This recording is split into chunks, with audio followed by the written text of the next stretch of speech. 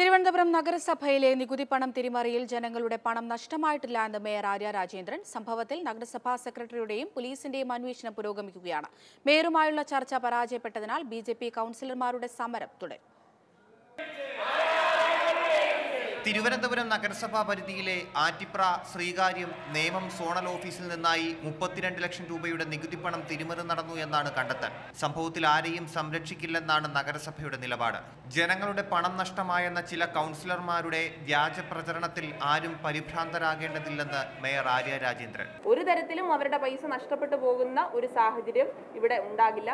മുഴുവൻ തുകയ്ക്കും ഇവിടെ അടച്ചിട്ടുള്ള മുഴുവൻ തുകയ്ക്കും ഈ ഭരണസമിതി അതിന്റെ ഉത്തരവാദിത്തം അതിന്റെ സംരക്ഷണം ഏറ്റെടുക്കും. സമരം ചെയ്യുന്ന ബി ജെ പി കൗൺസിലർമാരുമായി മേയർ നടത്തിയ ഒത്തുതീർപ്പ് ചർച്ച പരാജയപ്പെട്ടു. ഞങ്ങൾ പൊതുസമൂഹത്തിന് ഉപകാരപ്രദമായിട്ടുള്ള ഒരു നാല് ഡിമാൻഡുകളാണ് ഈ ചർച്ചയിൽ വെച്ചത്. ഈ നാല് ഡിമാൻഡും തൽക്കാലം അംഗീകരിക്കാൻ കഴിയൂല എന്നുള്ള സമീപനമാണ് മേയറുടെ ഭാഗത്തുണ്ടായത്.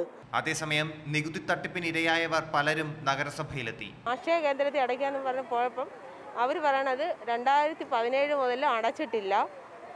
കുടിശ്ശിക എല്ലാം കൂടെ ഉണ്ട്. മൂവായിരത്തിനകത്ത് അടയ്ക്കണം എന്ന് പറഞ്ഞു. പക്ഷേ ഞങ്ങളിൽ എല്ലാ വില്ലും ഉണ്ട്. അവളുടെ പേരിലാണ് കെട്ടിടം. കഴിഞ്ഞ വർഷം രണ്ടായിരത്തി ഇരുപത് ഇരുപത്തി ഒന്ന് വരെ ഞാൻ അവിടെ കടം അടച്ചിട്ടുണ്ട്.